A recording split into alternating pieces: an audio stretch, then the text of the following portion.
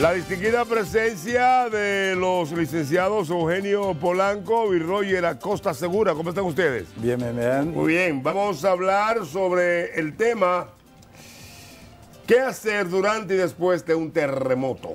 Eso es fuerte. Sí, ¿verdad? Antes, durante y después. ¿Qué se puede hacer? Bien.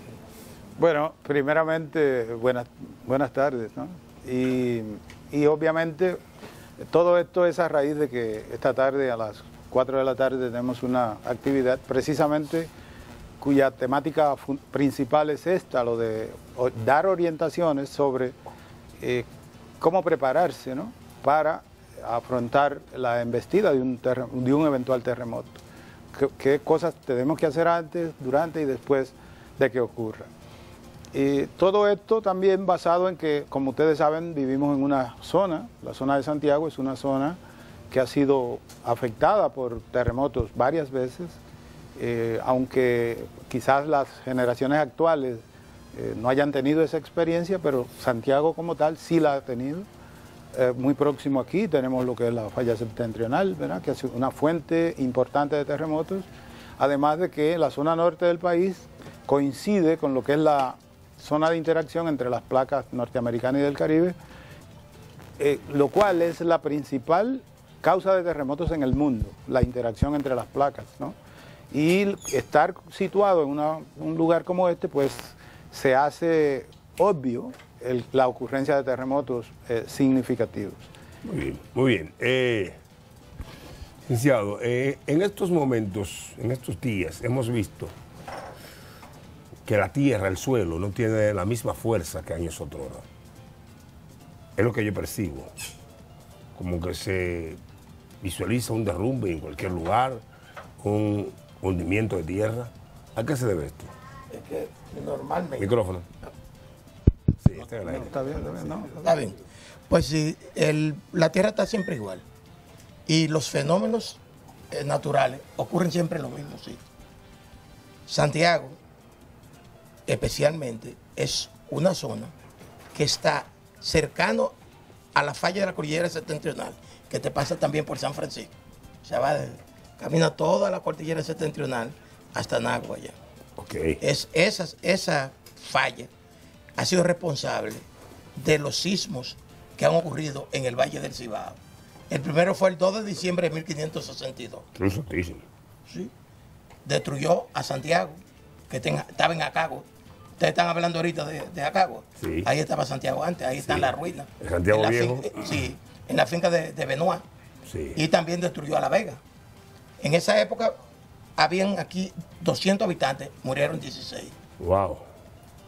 Eso significa que es 8 por, por 100, 8%. Bueno, que, que- que ojalá y nunca ocurra ahora con la sobrepoblación que tenemos Claro, entonces- la falta de calidad en, en muchas edificaciones. Que aquí se construye, se, se diseña para champán y se construye para Maví.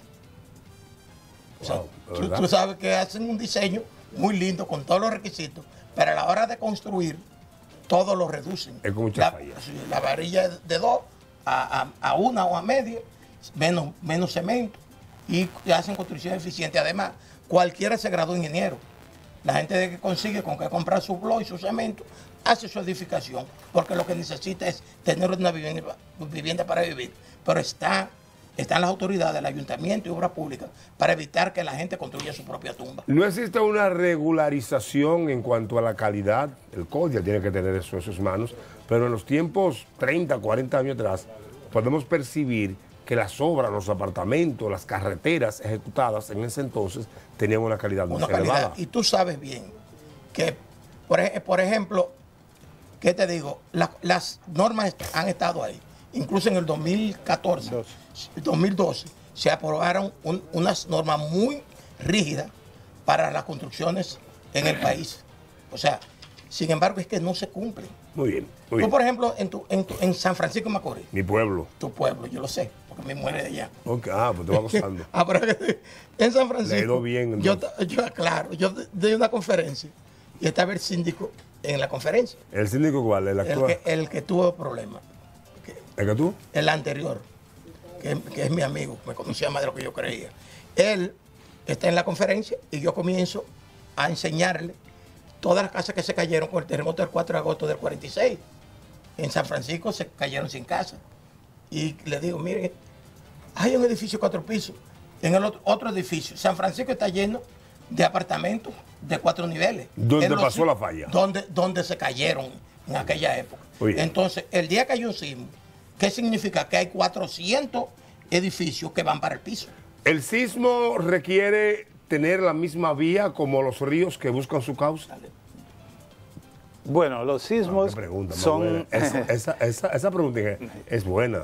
Muy buena. Cuando se genera un sismo, como ustedes saben, el sismo se va a generar en una, digamos, a lo largo de una, de una falla y obviamente las ondas van a viajar a través de la Tierra hasta llegar a donde estemos, diríamos, y, ahí el, el temblor. Por tanto, así que lo definimos como una perturbación que se genera al ¿Una romperse. más?